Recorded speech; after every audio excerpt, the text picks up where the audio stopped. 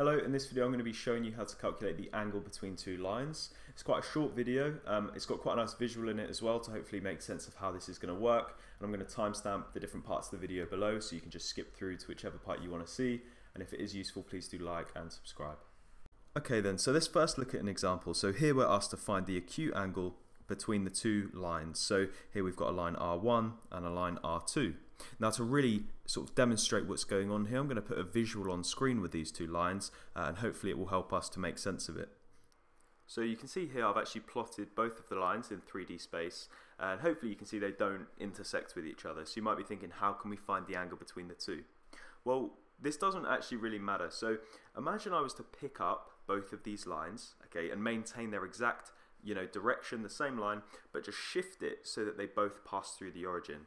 Okay, so I'm now going to move both of these lines. I'm just retyping in uh, the equations. So it's the same line, it just now passes through the origin. Now you can see once I've done this, they now intersect, and you can actually now see that there's going to be an angle made between the two, right? You can kind of see I'm orientating it. And so because of this, the only thing that really affects finding the angle is the direction vector.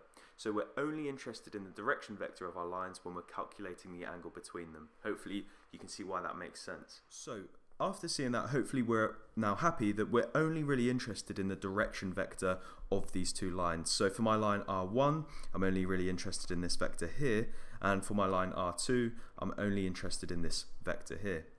So what we're going to do first is take the dot product or the scalar product of these two vectors. So I'm going to do negative 2 for negative 1 dot negative 3 for 1 and that's going to give me a result of 6 plus 16 minus 1 uh, which is going to be 21.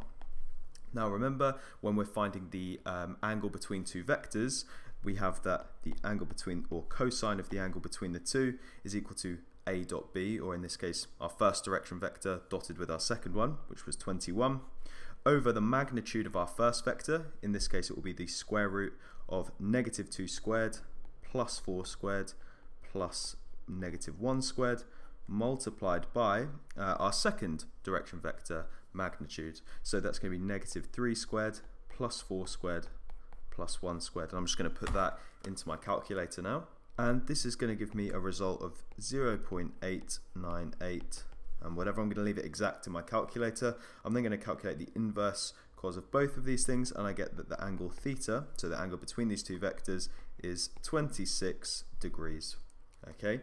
Now in the question we were asked to find the acute angle so let me draw a quick uh, sketch of what this may look like. So these are our two lines. Now clearly we've found the acute angle straight away but that we could have found this angle here in red. If that was the case, then we would have just done 160, subtract whatever that angle was that we found, and we would have found the acute angle. Okay, let's take a look at another example. So here we're asked to show that the two lines, L1 and L2, are perpendicular. So remember from the previous video, uh, two vectors are perpendicular if their dot product is equal to zero. And so again, we're only interested in the direction vectors, so this one here and this one here.